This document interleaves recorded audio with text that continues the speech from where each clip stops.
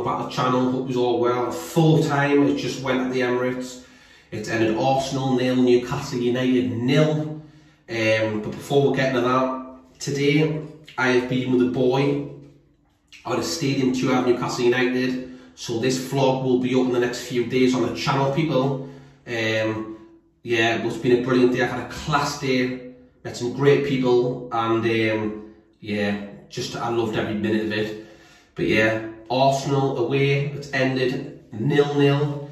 Um, the game was ridiculous, in fact. Newcastle weren't at the best. They were sitting too deep. It was like Wilson was isolated, couldn't hold the ball up. Arsenal had were in knots the first half. Second half improved a bit more.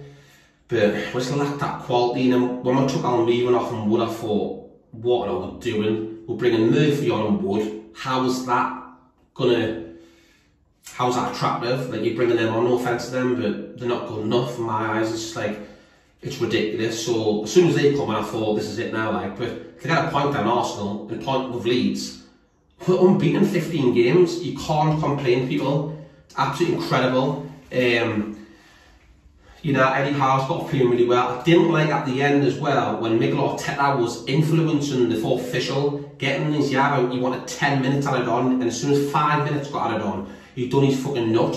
And him and Eddie Howe had a bit of ban um, a bit of ban a bit of um, argumentative rage at the touchline and that. And rightly so. Arteta, what you playing at?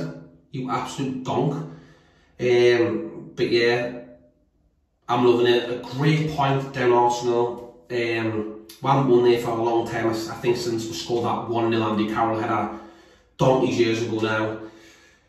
We are still in this title race we are still in it. I said as long as we don't lose the game, we didn't withdraw. So that's a great point. Um, I'm buzzing with actually. I saw fans at the end there going absolutely ballistic. Um, great fans yet again, as we always are. Um, yeah, it's a fantastic point. Um, tonight, I've got to say, Willock was outstanding. He was definitely my man in match for Newcastle United. He was just, he was definitely the star of the bunch. Um, just couldn't get going. Anyone else? Botman was outstanding as well. Botman, unbelievable. Um, yeah, Botman, Guimarães, Trippier does what he always does. But Willock tonight was different class and um, he used to play for Arsenal as well, so he obviously wanted to show them what they're missing. Put a good shot for Newcastle United in the black and white yeah, we'll come up with a point. I'll take that, I'll accept that. And um, on, on the next game now, people, um, let me know your comments underneath what you thought of the game and um, yeah people um, if you could like and subscribe that would be great and like I said the vlog of the stadium 2 at St James Park will be out probably tomorrow if not the next day um, so yeah people thank you for um, listening smashing point for the Toon Army um, I'll see you on the next one people